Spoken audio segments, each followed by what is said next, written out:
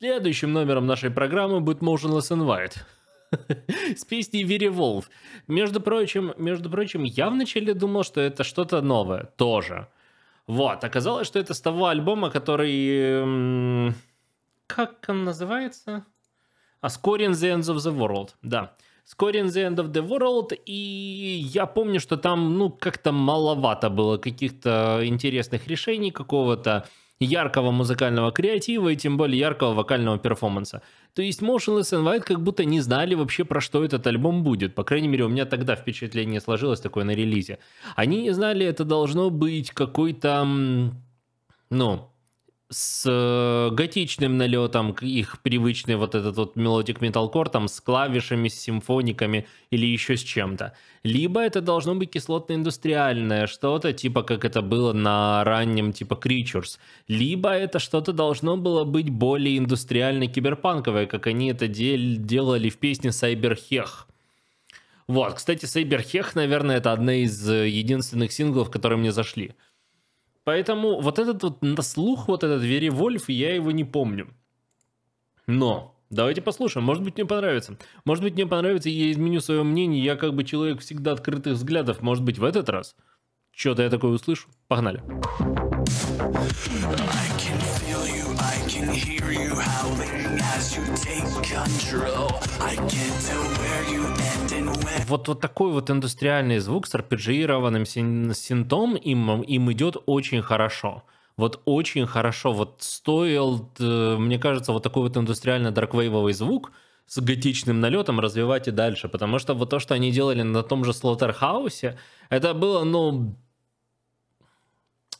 как будто копирка копирки, копирки, копирки.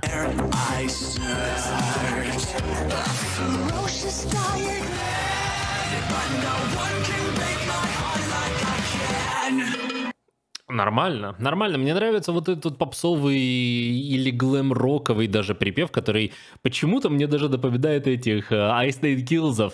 То есть uh, с таким же, с полуоперным, с полумюзикловым пафосом вокала, с такой же вот такой рваной ритмикой. та да та да та та да та да та та да та да та та та Прикольно, прикольно, прикольно, прикольно.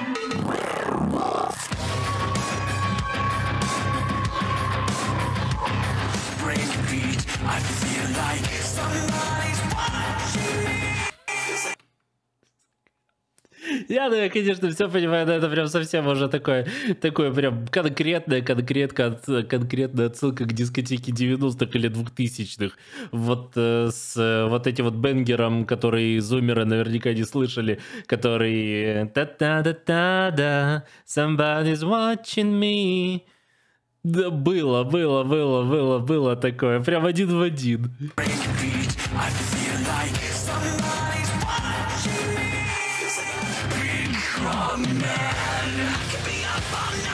Просто вот стоило бы определиться на вот таком звуке. Мне нравится вот такой вот, вот такой более мюзикловый, более танцевальный, более синтовый, даже типа тут сведения и за зажимы и компрессии ютубовские, мне кажется, не мешают, а наоборот даже помогают вот такому звуку.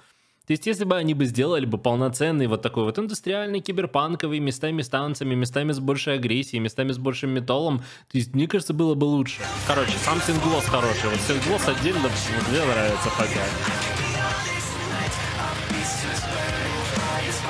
Я говорю, это вот... Эм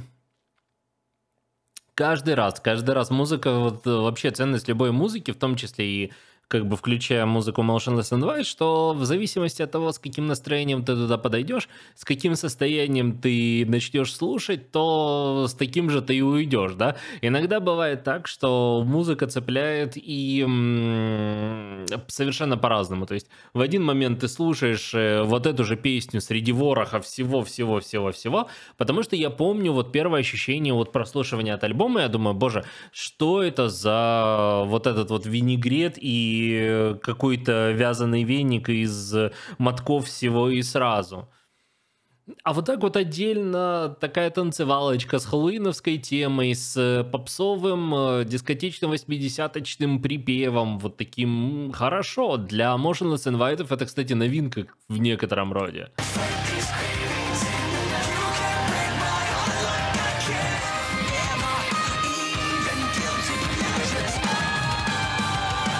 Мне нравится, что не стали оставлять э, гитарный соляк вот именно солировать без ничего, а добавили сюда еще как э, вокал и сделали из него полноценный бридж, потому что соляк там ни о чем. Ну, прикольно, прикольно, мне реально нравится. Мне реально нравится, очень это хорошо. Я не ожидал. Я не ожидал. Я совершенно не ожидал, что мне оно зайдет. А ну-ка, чисто ради для сравнения. Вот я ж помню, я помню впечатление от э, Сайберхеха. Я помню впечатление от Слоттерхауса. Я помню, мы еще слушали... Мы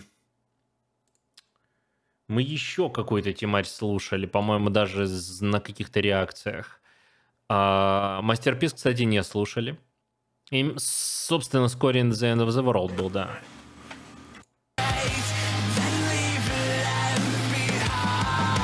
Ну да, что-то хаос, конечно, лютая была. Лютая была, лютая, лютая была барахлина, да.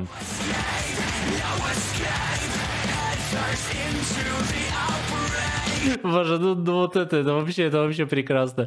Это тупо этот э, Hellsong от э, 41. Я говорю, ребята, ребята там докреативили по полной программе. Ребята докреативили на полной программе, тупо не знаю, куда дальше двигаться. Кстати, это, это нормальная ситуация для многих коллективов, особенно в нынешнее время, когда объективно, что эм, получается так, что некуда больше как бы двигаться там в креативном плане, да, твой изначальный весь э, жанровый фундамент, он как бы сам себе исчерпал, а чего-то каких-то новых впечатлений, новых идей, новых вдохновений пока, увы, нет. И как бы вот в таком случае, случае Motionless Invite, это выглядит как я много раз приводил это сравнение, открытый холст, да, белый, и на него накидывают тупо все краски, которые только можно. И что останется, то и останется. И потом смотреть потом по прошествии времени, да, как это что будет работать. На мой взгляд, именно песни типа Сайберхеха или вот этого же Веревульфа идеально работают для них в данном случае. То есть они сохраняют свой индустриальный такой фундамент, который у них так или иначе был всегда. Будь это альбом Creatures или будь это тоже условный... Кто... Эм, что у них было более-менее с... Ну, у них были пианины типа в Reincarnate, в, в Devil's Night, вот такие вот более готичные такие эм, закосы. Но мне нравится, мне нравится, мне нравится то, что они вот сюда могут впихнуть больше электроники, вот такой стиль, и что они могут запихнуть вокал цирульника, то есть э, этого Криса, вокалиста, и автотюнить его как угодно, потому что если вы назывались индустриалом, ну, собственно, там уже эффекты на вокале, это само собой разумеющиеся, и все несовершенства своего исполнения можно прятать под эффектом и назвать это стилистическим эм, решением. Поэтому, поэтому вот именно вот этот вот сингл Вервульф мне очень понравился. Это, наверное, один из немногих синглов, который мне понравился. Наверное, вот это даже на первом месте, а потом, наверное, Сайберхех. Потому что все остальное, либо оно прям как-то, либо оно совершенно не оригинальное, типа вот этого Hellsong God Some 41, либо, либо либо да, либо такой Slaughterhouse ренденден ради рендендена, причем исполненный очень криво. Но я говорю, если они будут дальше развивать вот такой индустриальный звук и вырулят что-то похожее на последний альбом архитекторов, мне кажется, будет очень даже неплохо. В конце концов, э, лучше пусть креативить, чем не креативить. Мне кажется, любой движ это, это лучше, чем как бы попытка педалировать один и тот же альбом снова и снова. Поэтому, поэтому, поэтому вот такие вот танцы мне нравятся. Вообще, я считаю, надо больше танцев в металле. Потому что без танцев как-то... К чему это все? К чему это все вообще? И э, если у нас крутые танцы выдали те же Ice Nine Kills, почему бы тем же Motionless Invite не делать что-то подобное? Вполне. Мне кажется, у них как раз и стилистический, и такой вот весь визуально-концептуальный нарратив с хорроровыми элементами тянет очень неплохо. Посмотрим, посмотрим, посмотрим. На данный момент мне очень прям зашло.